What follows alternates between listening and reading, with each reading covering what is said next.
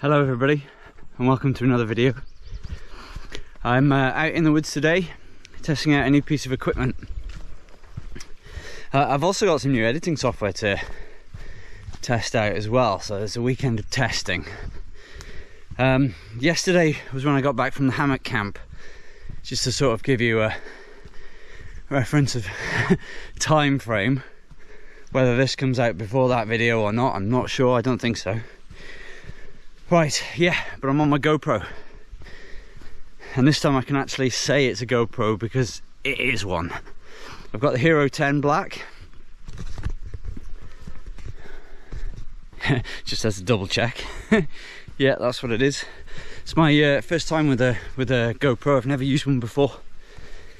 Um, but uh, a friend of mine's got one, and he says it's really good. So uh, this is uh, Steve's advice, and not hearsay, but uh, under Steve's advice. It is. It does feel like a good sturdy camera. It's supposed to be 80. Uh, sorry, supposed to be um, waterproof to um, 33 meters. I'm not sure if I'm going to test the waterproofness today. I'd hate for it to like die straight away. But uh, I do plan on using this on the wolf run uh, and when I'm out on my bike. Uh, and I've got a new bike coming as well. So yeah. My new bike is the um, Voodoo Brag. Or Brag. From um, uh, Halfords I'm getting it from. It's supposed to be quite popular. Um, but yeah, I'll, I'll, let you know. Well, you'll see how I get on, I suppose. But uh, let's just keep walking through this woodland. I wanted to test like the light levels, the sound, things like that. I know.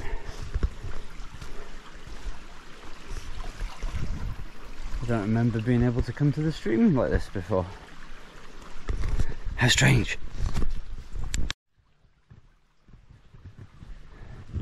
It's um, got a smart uh, stabilization for sure, but also it can detect which way it's up, a bit like a phone, I guess. My uh, other action cams have been cheap and they couldn't do that. So I'm currently filming upside down. I wonder what happens if I flip. Oh, you know, it carries on. Oh, that's interesting. Now then, to test the stabilization, I'm going to run with it in my hand like this. And we'll see how stable that is. On my old camera that'd be terrible. I've never tried it. On the um, on the phone for fear of dropping it. But the little uh, handle that this comes with is very secure. And uh, it feels quite nice in the hand as well. Right. That's enough. I haven't run in ages Right, how are we doing? Battery wise isn't too too bad, and the uh, 35 gig SD card that comes with it, 35, 32 I think it is, card that comes with it films for about an hour 10 so I'll probably just have to pick up some more cards at some point. It comes with two batteries so that's good I won't do a box opening or contents or such. You can look on their website if you're interested. Um, but these are my first thoughts. I might do a review on it after a few months of using it, but we'll see. All right, and here we are. This way. Hey, uh, another thing I wanted to do, I mean, I, I love this forward facing camera as well. But another thing I wanted to do was um, check out what it's like in uh, low light, whether it goes grainy at all. It still smells like new camera. I'm sure you know what I mean by that. Sort of that rubberized, yeah. Anyway, uh, although it is quite light actually, so maybe this isn't a good test.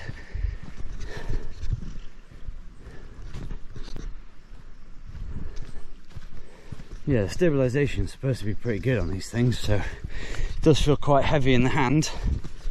Yeah, it's a heavy old built to last camera, I would say. I would hope, anyway.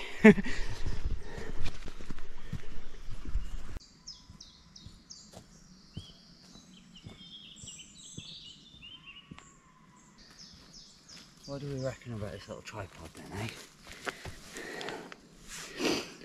Pretty stable. Also folds up and becomes a carry handle, which is nice. Yeah. Am I going to put you in the water? Not today. No. It's quite low anyway. It's a bit mucky actually. Oh, look at all those midges. Can you see them? Uh, another thing, obviously, is that this film's in 4K, whereas the other camera I had was 1080 at best, and that one that I bought for under 20 pound. I don't know what the hell that filmed in. Rubbish. so these cameras are well, this this one because it's the current one was very much on the um, steep side of uh, pricing. So if you're just looking for an action cam to just document your outdoors and you're not that bothered about it, maybe get something a bit cheaper. Um, or you can pay more for something that's going to be reliable, quality, uh, and you get you do get quite a lot for it as well. I opted for the accessory kit, which I would advise because you get a lot of things um, that would be very useful and then you can pick up like the other accessories for like a tenner um, I've also gone for the screen protectors. Because I want to look after my camera. Um, but yeah I, I'm liking it so far. It's good. The root the root of all evil I want to get to the root of the problem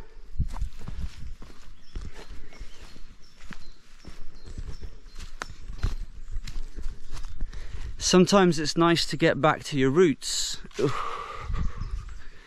I'll stop now.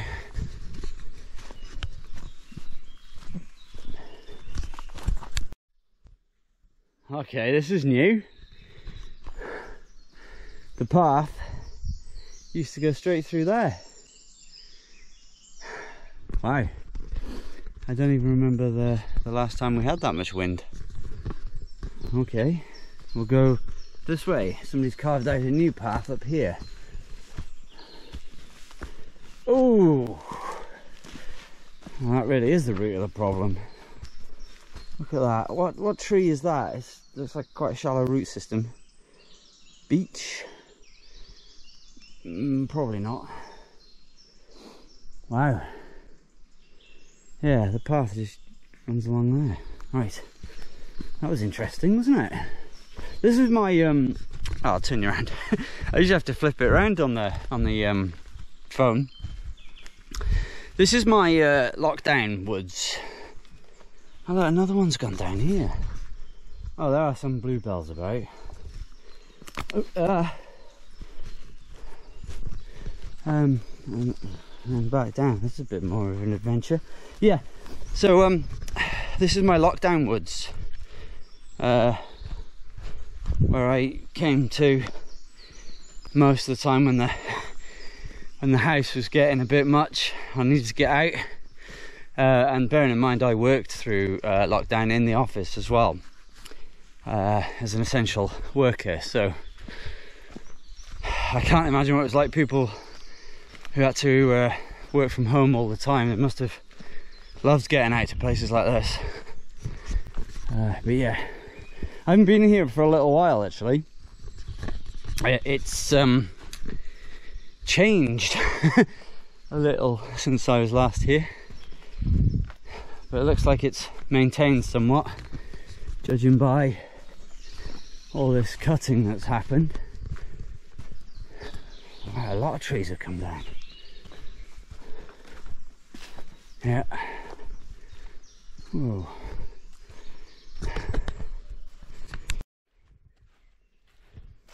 Ah, okay then.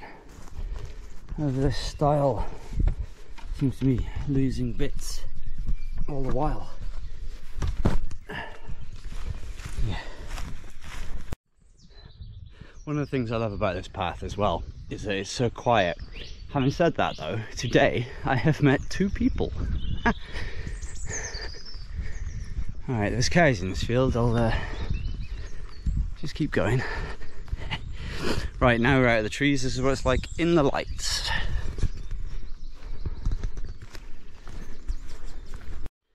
Okay. Can you can you zoom in? Okay, so that's 1.4 times zoom to try and see those cows. A good test of the wind as well. It is open here. They haven't spotted me. Can I change the zoom whilst it's recording? No. Don't think so. Disabled the beeps. Right. Can you even get over here now? Not really on the stile because that branch is down. So I guess I'll just have to. There we go. That's a shame.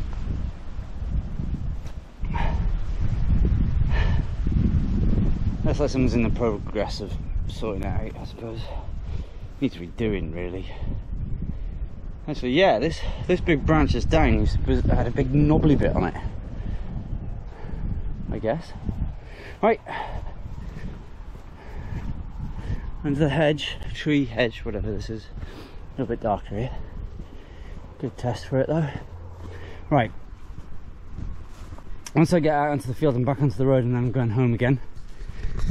So, I will sign off here. Thank you very much for watching. If you've enjoyed the video, please leave a thumbs up. Um, I know this is not a very uh, interesting one. It's ma mainly just a test of the camera. But uh, if you've enjoyed it, leave a thumbs up nonetheless.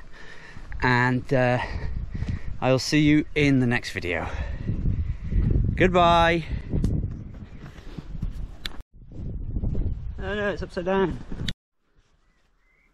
Okay, I thought I'd hit record, um, but apparently I didn't. Anyway, I've just come out of this field um, and over this rather suspect stile, which does have a bit for a dog to get through uh, amongst all that foliage somewhere. Um, but yeah, was just saying, this is getting starting to get a bit overgrown already, and it'll get worse as the uh, season progresses. Ooh, but there we go. Lovely. Lovely sirens as well. right, I'll see you again.